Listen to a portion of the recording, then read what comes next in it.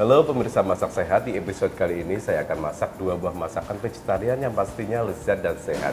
Dan sekarang saya ditemani oleh Mbak Gina, apa kabar Mbak Gina? Baik, Cek. Pemirsa, ini Mbak Gina ini salah satu dari komunitas pebisnis Uh, perempuan ya, online, ya. pebisnis online perempuan. Ceritakan sedikit dong ke pemirsa tentang aktivitasnya itu seperti apa? Oke, jadi kita adalah komunitas eh, ibu-ibu, nggak hanya ibu-ibu sebenarnya ya. Ada juga remaja di atas 18 tahun Oke. yang kita memang eh, fokus mencari Usahanya, kegiatan gitu ya, yang positif tentunya ya melalui bisnis online. Usaha gitu, online. usaha online. Nanti kita ulik lagi ya bisnisnya apa dan bentuk aktivitasnya seperti apa. Oke. Nah, pemirsa jangan ke mana-mana, tetap di Masak Sehat.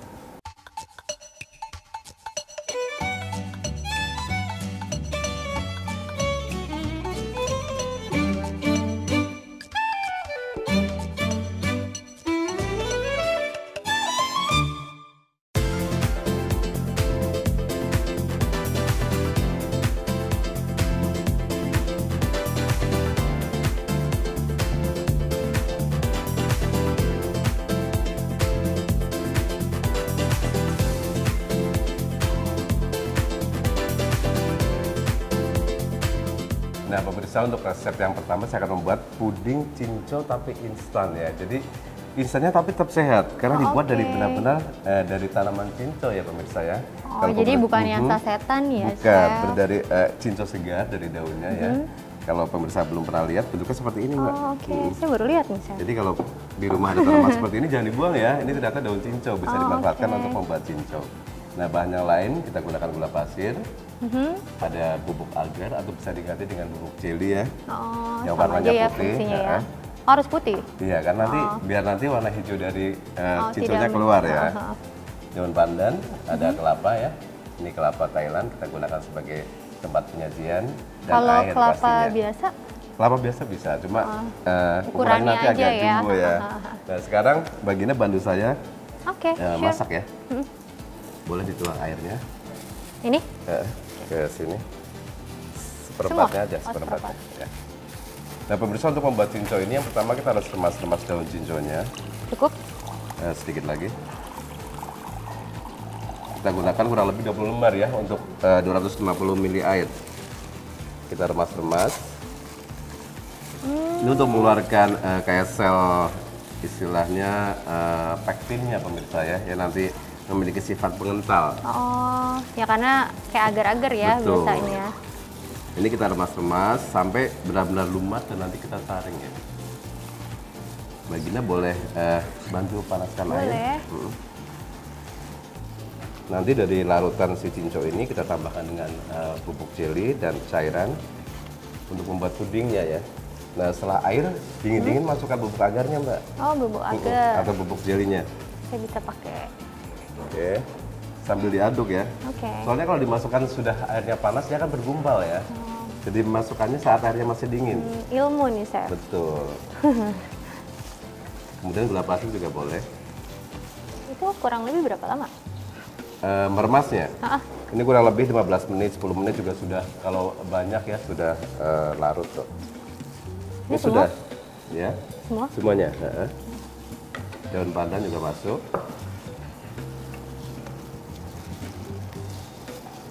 Ini daun pandan sesuai selera atau? Ini untuk flavor aroma saja Oh, ya. oke. Karena kadang-kadang kan cincau agak langu ya. Iya, Jadi kita benar-benar, eh, benar. tutupi aroma langunya dengan daun pandan. Sama daunnya Betul. berasa banget. Jadi flavornya jadi wangi nanti. Nah kalau sudah larut, ya sekarang dinyalakan apinya ya mbak ya. Ukurannya kecil, sedang, Api sedang saja. sip. Sambil diaduk terus dan nanti eh, bubuk jelinya tidak bergumpal atau bubuk agarnya ya. Ini pemirsa sudah terbentuk ya eh, cairan dari daun cinconya ya. Sudah berwarna hijau. Nah sekarang tinggal kita saring.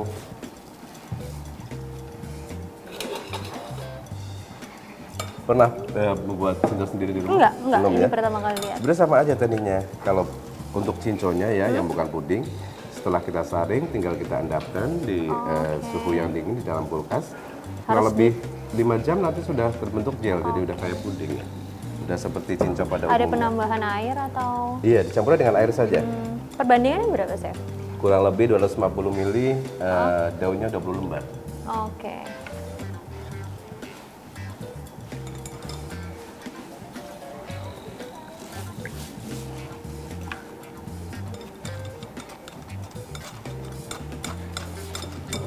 Ini Mbak Gina sambil ngobrol tentang kegiatan dari eh, komunitas pebisnis online wanita ya. Iya. Ini memang sekarang lagi tren ya. Jadi Iya sih meskipun mas. berkarir kadang-kadang masih jualan online juga Oh ya. iya tentu aja. Yang latar kan belakangnya apa sih, Mbak? eh, ibu-ibu juga kan nggak cuman ngurus anak, ngurus Betul. dapur. Kita juga harus ketemu posi- eh, komunitas positif yang bisa em, menggali sebenarnya kita bakat kita tuh apa gitu ya. Dan di sini eh, tentu aja selain apa namanya look good, maksudnya kita kan juga harus dandan ya depan suami gitu ya dengan kita Dan itu pakai kadang-kadang perlu modal ya, Nah, dengan menambah iya. tambahan. Jangan sampai Uh-huh. cantik tapi uang belanjanya berkurang. Kan jadi masalah lagi ya Betul. gitu ya. Tapi kalau kita bisa eh, bantu eh, keluarga, apalagi bisa bantu eh, membuka pintu rezeki teman-teman, sahabat, itu kan lebih lebih menyenangkan Betul ya. gitu. Jadi salah satunya dengan usaha online ini ya. Apa sih produk-produk yang dipasarkan biasanya? Eh, produknya ya produk yang sehari-hari kita pakai. Jadi kita tuh kayak buka toko virtual gitu ya, tanpa harus membuka toko kan. Jadi kita nggak harus modal eh, apa namanya Fisik sewa ya, toko. harus sewa toko, karyawan. ya. Nah itu lagi kan, dan eh, kita nggak punya kebebasan waktu. Kalau kayak gitu kan kita sama aja kerja kantoran kan ya. dengan apa saja ya, sambil merawat anak Nah iya ya, benar, ya. benar banget. Nah kalau sekarang ini yang lagi trennya apa produk yang paling laku? Eh, kosmetik masih nomor Kosmetik, satu, kemudian? terus parfum, terus kita punya produk wellness juga. Wellness itu kayak untuk eh, menyehatkan badan ya. ya, kayak eh, nutrisi, ya, kayak perempuan susu, kan kalau ya. selain cantik juga mau langsing kan, cantik, biasanya. dalam ya. Iya. Seperti masakan kita kali ini nih, kita membuat uh, puding cinco juga hidangan yang sehat ya karena seratnya itu sangat tinggi. Ini sudah mau mendidih, sekarang Oke. kita tambahkan uh, larutan cinconya atau cairan perasan cinco sambil terus diaduk. Oke, ini kita masak sampai mendidih ya pemirsa. Ini pemirsa kita lihat ya adonannya sudah mendidih, adonan pudingnya. Ini berarti sudah matang ya. Jangan terlalu lama kalau dimasak Oke. eh, cincau ini. Nanti justru vitamin ya, mineralnya malah akan rusak Oh, kalau direbus terlalu lama. Jadi cukup sampai mendidih saja ya pemirsa ya. Nah sekarang tinggal kita matikan apinya. Kita tuang ya ke dalam eh, tempat saji. Nah, aromanya aroma daun ya. Wangi ya, wangi dari. Banten ya. Ada flavor leci juga ya, Hmm. karena kita gunakan eh, jelinya yang cita rasa leci pemirsa. Oh, oh jadi nggak harus plain ya? Nggak harus plain, ada flavor juga boleh. Ini kita tuang ke Penting dalam. tidak berwarna. Hmm, betul, karena warna kita ambil dari cinconya ya, malah Hmm. bagus ya. Dan kadang-kadang pewarna juga bahan kimia kan. Iya. Nah ini setelah kita tuang di dalam kelapa, kita dinginkan kurang lebih 40 menit ya, hingga mengeras baru kita sajikan. Jangan ke mana-mana, tetap dimasak sehat.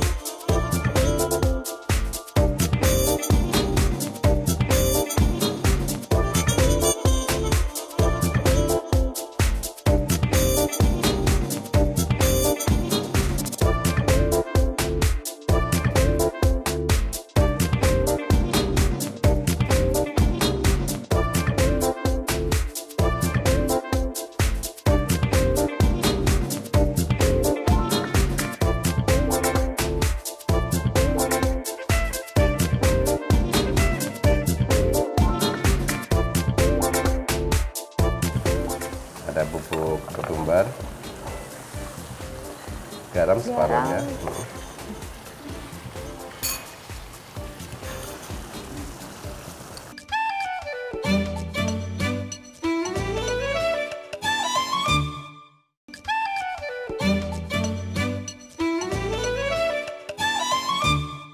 Resep yang kedua tidak kalah lezat lagi, tidak kalah praktis ya. Kita membuat telur bumbu keluak. Nah, buat pemirsa di rumahnya belum tahu keluak tuh seperti ini ya. Ini salah satu bumbu. Biasanya untuk membuat rawon ya. Iya, kalau iya, orang-orang orang Surabaya. Surabaya. ya. Ada telur pemirsa yang telah kita rebus ini sebagai bahan utamanya ya, Hmm. sumber proteinnya. Ada bumbu-bumbu, ada bawang merah, bawang putih ya, daun bawang, kemudian cabai hijau, cabai merah. Kita gunakan yang besar ya.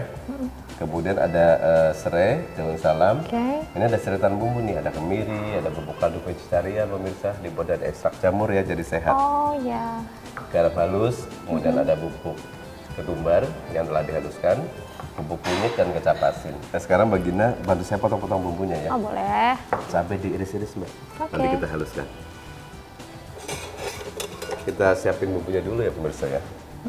Dipotong kasar saja, boleh Ini? dimasukkan ke sini ya. Dan nanti akan di blender halus. Oke. Segini cukup? Cukup, yang penting nanti bisa di blender Oke. saja. Ini cabenya bisa diganti cabai keriting atau? Cabai keriting atau cabai rawit ya. Aha. Kalau yang suka pedas Ah boleh iya ya. maksudnya itu. Kalau pemirsa nggak terlalu suka pedas, eh, boleh menggunakan cabai merah yang jenis besar yang seperti kita pakai sekarang. Ya bakal ada di TV itu langsung hilang. Ini semua ya? Se- eh, separohnya boleh. Oh, oke. Mm. Nah, ini bawang merah kita iris juga ya. Ini kalau di rumah nih, baginya Hmm? apa nih menu favorit keluarga? Eh, yang gampang-gampang aja sih simpel biasanya. Karena aku kan masih punya Mhm. anak eh, sekolah ya, jadi dia anak SD, makanya paling ya berkarir juga ya, bisnis online-nya. ya. Iya, karena kan harus bisa jaga eh bagi waktu juga saya. Jangan sampai kerjaan ganggu Betul. rumah tangga, sebaliknya juga Mm-mm. Tangga harus eh, bisa selesai biar kita bisa ngerjain. Mm. Itulah kelebihannya usaha online ya, jadi bisa dikerjakan sambil beraktivitas Ya, yang jadi lain ya. pagi masih bisa antar anak gitu kan, anak berangkat sekolah, Mhm. kita selesaiin masak terus eh, baru ngerjain bisnisnya, Betul. nanti siang disambil lagi gitu. Nih kalau ngomongin omset nih, kalau usaha bisnis online rumahan tuh bisa menghasilkan berapa sih kalau boleh tahu? Em, lumayan. Mhm. Kisarannya berapa nih? 1 M? Eh, ya 500 kalau juta? misalnya eh, berdasarkan Mhm. jaringan ya sampai segitu Segitu sampai 1 M ya. per Jadi bulan. ternyata melebihi gaji karyawan kadang-kadang ya Iya, usaha oh. online rumahan itu ya. Jadi kan kita juga Sangat menjanjikan ya. tagline-nya eh, ibu rumah tangga atau Mhm. ibu pekerja tapi masih bisa dapat penghasilan sama orang kerja kantoran Betul. bahkan lebih punya Untungnya lagi waktu. dikerjakannya di rumah, jadi nggak jauh dari keluarga ya. Kendalanya apa eh, bisnis online ini? bisnis online itu kan bisnis people ya chef Mhm. ya kita ketemu dengan tipe-tipe Orang yang berbeda ah, ya. Mhm. gitu ya kalau kalau saya pribadi sih Istilahnya radang sis ya, sapaannya nah, ya. ha-ha. Heeh. jadi eh, kalau saya sih ngambil bagusnya aja kita bisa mengenal karakter Mhm. toleransi gitu dan yang menyenangkan kan ini eh, bisnisnya nggak cuma dari Jakarta Mhm. gitu ya dari seluruh Berbagai Indonesia daerah ya. ha-ha. jadi berbagai macam karakter orang nah ya. benar kadang-kadang kita belajar lagi kan Mhm. Nah kalau produk makanan ada nggak sih yang dijual? Eh, ada kita punya wellness Mhm. yang tadi saya bilang itu kan untuk eh, apa namanya eh, kesehatan. Kesehatan ya. Ha, ha, ha. Bentuknya seperti apa biasanya tuh? Kayak Bentuknya kayak minuman. minuman. Itu bikin sendiri atau produk eh, pabrikan yang siap pasar? Pabrikan siap jadi, cuman kita harus combine juga sama kayak buah, Mhm. sayur. Kita bisa combine dengan eh, makanan-makanan yang hari-hari kita konsumsi juga sih Oke. saya. Nah ini kalau bisnis online kan eh, kita nggak ketemu dengan customer ya. Itu menjaring customernya seperti apa sih cara eh, nyari pelanggannya, pembelinya? Right. Ya, kalau pelanggan kita biasanya kan kita punya banner tuh katalog online. Kalau misalnya eh, hari-hari kita bisa pakai katalog buku dan di bukunya itu kan nantinya kita dibikin yang versi online-nya tuh, Chef Oke. ya. Atau dengan jejaring yang lain misalnya kayak Facebook, Instagram. Oh iya, tentu aja. Itu pasti ya. Ha-ha, Jadi kita promo di situ. Sekarang kan kayak eh, Instagram itu ada Instagram Story, WhatsApp Story, Facebook juga kan. Itu sangat membantu ya. Ha-ha, sangat membantu. Jadi kita punya eh, apa namanya banner promosi, tinggal namain nama, nomor handphone, jreng diposting gitu dan semua orang. ya. Nah. Sambil kita masak ya, kita Oke, habisin bumbu ya. boleh.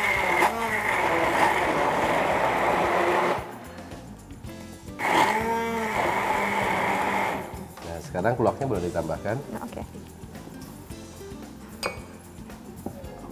Sampai halus banget atau Eh, kasar juga nggak apa-apa Oh, sebenarnya ya. Ini salah satu bumbu khas yang kita pakai pemirsa ya. Ini nanti eh, hidangannya menjadi agak kehitaman, tapi rasanya jadi enak ya, legit ya istilahnya ya. Ini lagi? Sedep. Nah cukup. Kita haluskan lagi.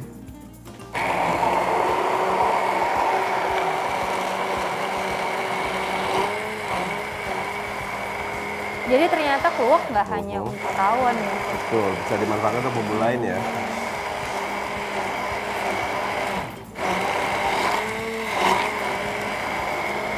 Cuma bumbu ini memang memiliki karakteristik yang khas ya, jadi eh, harus dikukus dulu ya pemirsa ya, Oh. untuk menghilangkan semacam ada kayak senyawa beracun, tapi dia uh, gitu. jumlahnya sangat kecil. Dan kalau sudah dipanaskan dia akan menguap dan hilang. Jadi ini aman. kukus. Hmm, Dikukus dulu sebelum digunakan. Nah sekarang telurnya kita goreng dulu ya pemirsa.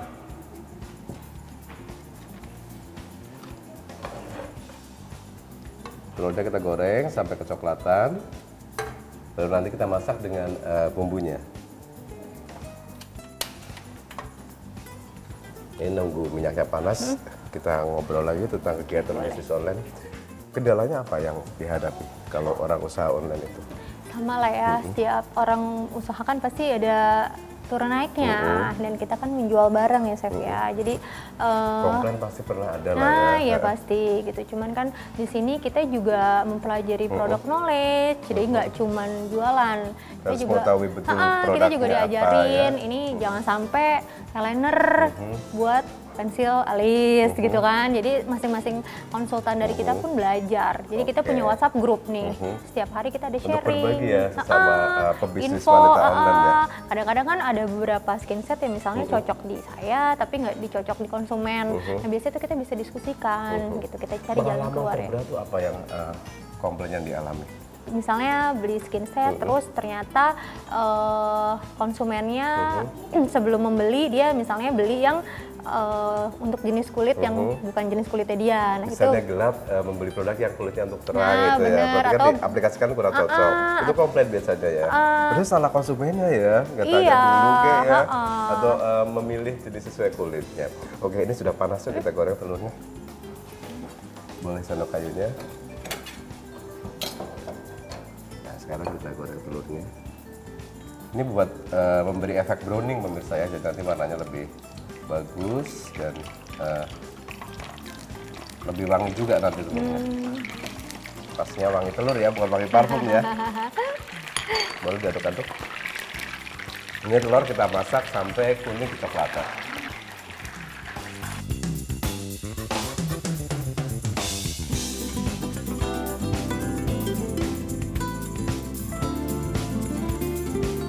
Telurnya sudah kita goreng ya, sudah kuning Iya, kecoklatan. ha. Sekarang Bagus tinggal ya. kita tumis bumbunya ya.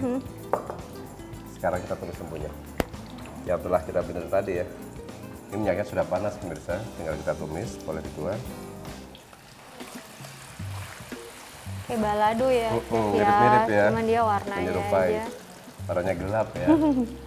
Tapi cita rasanya enak. Nah, daun bawang boleh diiris. Oke.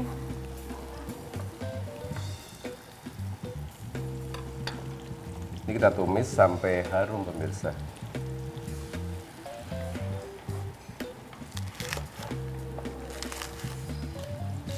Komunitasnya sekarang sudah berapa nih anggota dari Eh, klub pebisnis wanita ini? kalau jaringan saya sendiri sekitar seribu orang ya. Kurang lebih seribu orang, cukup banyak ya. Dan Kalau kita- ngobrol-ngobrol ngobrolin apaan sih? Eh, ya biasalah ibu-ibu ya, selain anak, eh, apa namanya masakan, kadang-kadang gitu kan, make up. Kadang-kadang kita juga ngadain charity sih. Wah ada kegiatan charity ya, selain kegiatan jualan juga ya, Nah, ada jadi sisi kayak ya. bulan puasa gitu kan kita ngumpulin produk yang mungkin eh, berguna untuk adik-adik di di apa namanya di yatim Bukan yang expire ya, yang oh berguna enggak, ya. enggak yang berguna. Eh, eh. Nah sekarang telurnya boleh masuk sekarang.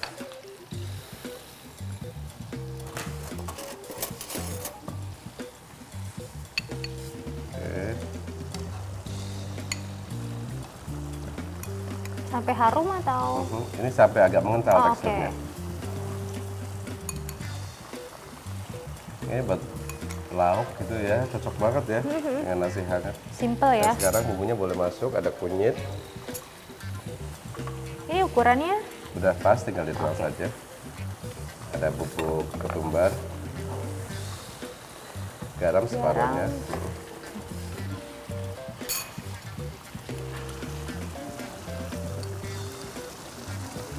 Kemudian kaldu vegetarian. oke semua. Mhm.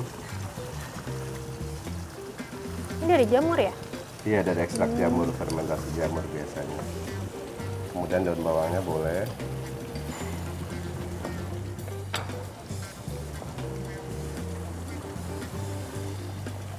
Ini kalau daun bawang masuk kita masak sebentar saja pemirsa ya, karena daun bawang kan memang eh, cepat matang ya. Kita aduk sebentar. Nah kita tambahkan juga kecap manis ya sebagai bumbunya. ya. Ini kebayang ya. Biar gurih, manis gitu ya. Jumbonya enak ya. Wangi-wangi keluak. Hmm, ada wangi kemirinya juga. Tuh. Dan teksturnya juga kental ya kalau menggunakan keluak dan kemiri ya. Nah sekarang sudah matang, tinggal kita tunggu, kita sajikan buat pemirsa yang baru bergabung. Berikut ringkasan resepnya.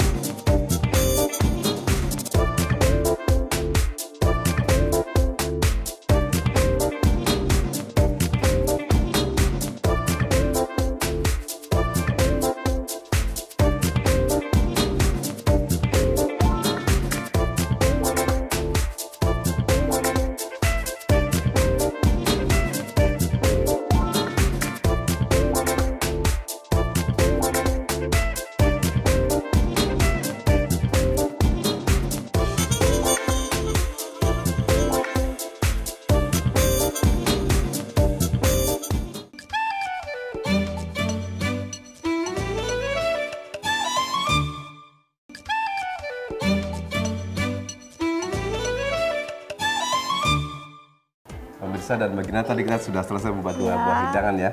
Yang pertama kita bikin puding cincau hijau instan ya. Aduh cantik banget ya. Ini nggak sabar ini nunggu. Bikin cicipin ya. Tahan. Sebentar lagi kita cicip-cicip ya. Dan resep yang kedua kita membuat telur bumbu keluak ya. Oke, gurih ya Salah- kelihatannya. Gurih dan praktis dan bisa menjadi salah satu alternatif eh, menu keluarga Anda ya di rumah. Pemirsa harus cobain ya. Bagina terima kasih sudah gabung di Ya, Masak Sehat ya. sama-sama Chef. Seneng Semoga- banget punya ilmu baru ya. Kapan-kapan sama grup yang lain Iya, kita undang boleh lagi banget. ya buat masak-masak lagi ya. Nah pemirsa di rumah sekarang sudah di penghujung acara saatnya kita harus pamit. Semoga ilmu yang kita bagikan bermanfaat. Bagi Anda di rumah yang punya resep sehat vegetarian silahkan di-share kita dengan hashtag sebarkan kebaikan. Masak sehat, semi and healthy. Sampai jumpa. Yuk kita cicipin mbak. Unik taruhnya juga di kelapa langsung gitu bagus jadi eh, bagus lah kelihatannya juga jadi jadinya unik. Ilmu baru ya eh, dapet eh, telur bumbu keluak. Biasanya kan keluak untuk rawon. Nah, ini bisa untuk eh, telur. Jadi eh, bisa untuk dicoba dicoba di rumah. Unik sih. Soalnya yang eh, kita tahu kan untuk rawon itu biasanya untuk bumbu eh, bumbu rawon ya. Ini buat bumbu telur yang biasa kita cuma bikin balado rasanya unik